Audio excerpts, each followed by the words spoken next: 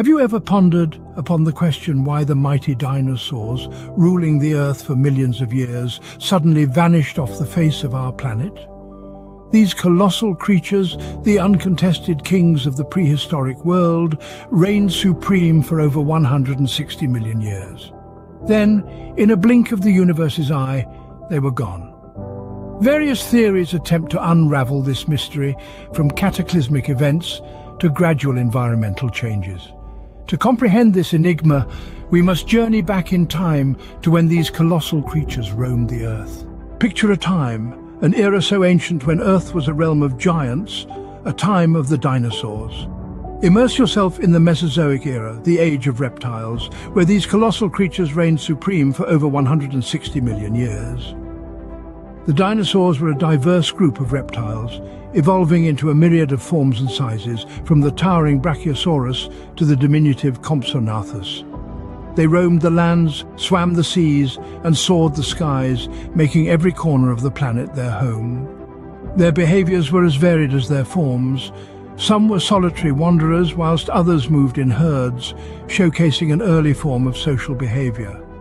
Their diets, too, were diverse.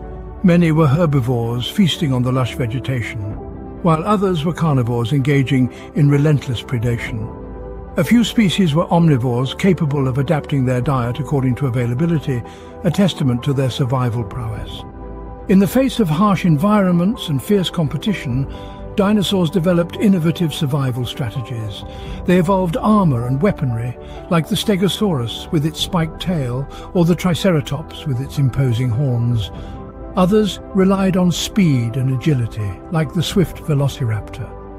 Many exhibited complex behaviors such as nesting and parental care, further evidence of their adaptability and resilience. But like all good things, this era of the dinosaurs had to come to an end.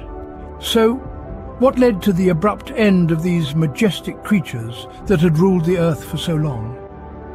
The most prevalent theory suggests an asteroid or comet impact, a catastrophic event that would have caused a nuclear winter effect, blotting out the sun and leading to a drastic drop in temperature.